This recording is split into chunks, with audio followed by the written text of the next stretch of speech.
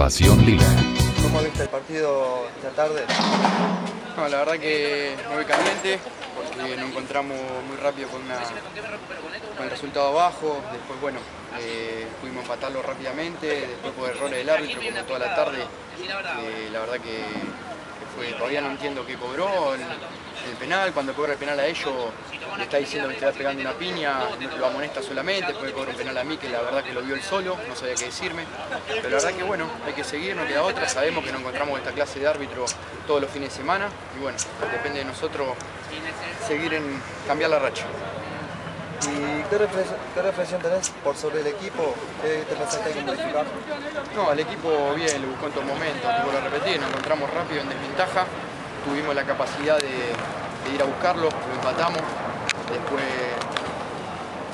un penal inexistente, nos encontramos en desventaja y bueno, después cuando salimos del segundo tiempo el, equipo fue otro, nos adelantamos 5 o 10 metros más en el campo, creo que se lleva mucho cuando no hicieron nada.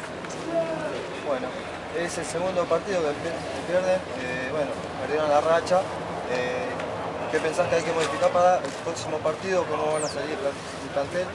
No, hay que seguir por, la- por el mismo camino. Veníamos de ganar tres partidos seguidos, no éramos los mejores y ahora que perdimos dos partidos no somos los peores. La idea del equipo es siempre la misma, intentar jugar en todos lados, tanto local como visitante. Y seguramente el próximo partido también tenemos local, saldrán a buscar los, los tres puntos como de costumbre. Pasión Lila.